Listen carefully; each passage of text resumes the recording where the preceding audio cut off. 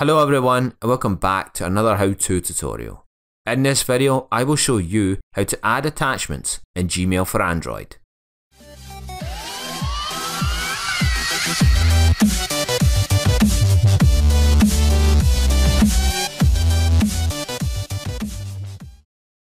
First, open the Gmail app on your Android device. Start a new email by tapping the pencil icon in the bottom corner. We need to fill out the email now. Enter the email address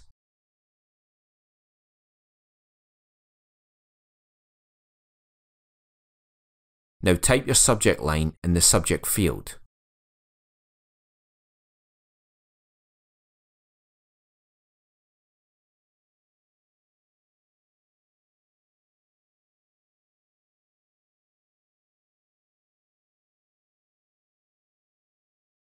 Write a message for this email.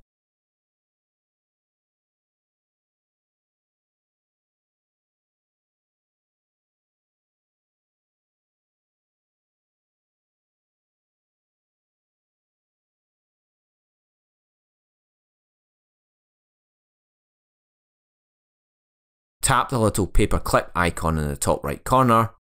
A new menu will open. Tap the Attach a File option. Once you've found the file you're looking for, tap it. The attachment is now attached to the email.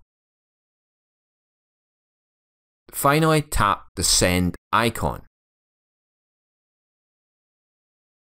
That's it. There it goes. You have been watching a how-to tutorial from David Reilly.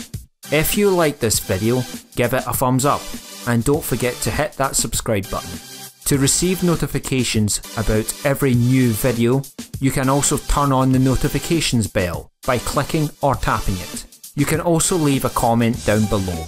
Your ideas and suggestions are always welcome. Until the next time, take care everyone.